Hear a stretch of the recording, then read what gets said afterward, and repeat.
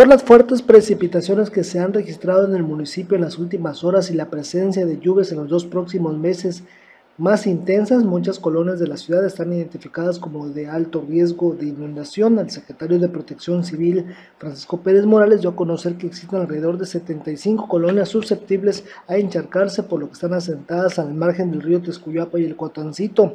Hasta el momento dijo que los dos ríos que cruzan la ciudad, como son el Tescuyapa y el Cuatán se encuentra en los niveles normales, a pesar de ello el riesgo crece por la gran cantidad de basura y escombros que estos acarrean. Lamentó que uno de los factores que origina el desbordamiento de los afluentes es la mala costumbre de la población de tirar la basura en el cauce del río.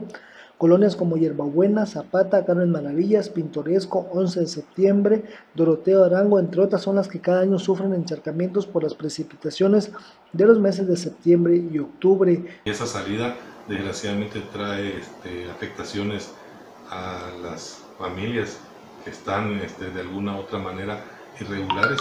Irregulares no quiere decir que estén este, posicionadas o en mal estado, sino que en el servicio de, drenaje, que no hay este, una descarga para este tipo de aguas pluviales. La prueba de hecho es que ya este, estamos haciendo un análisis con varias dependencias donde ya se rebasa los que son los este, laterales del par vial, ya no es suficiente el desagüe que tiene esta, estas arterias principalmente.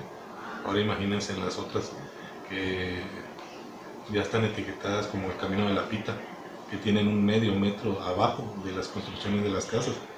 Entonces este, tenemos que hacer un replanteamiento para este tipo de situación. Señaló que también las colonias que se ubican sobre laterales del par vial sufren encharcamientos toda vez que los canales de agua ya no son suficientes para conducir aguas fuera de la ciudad.